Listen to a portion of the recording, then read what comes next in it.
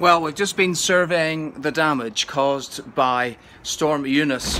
Um, something absolutely...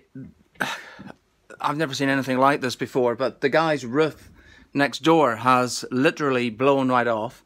Part of it's in our garden, part of it's in the next door garden, and another part of it rolled right along the car park, uh, crashed into a car at the, at the end down there, and ended up in the mosque next door. Uh, so this is just a warning to make sure that you all do stay indoors today because we're seeing gusts of up to possibly 90 miles per hour. Uh, so I don't know what else is going to happen. Um, our neighbour has come round to say that part of their fence was about to come off, and I've just seen that there's a massive hole in it now.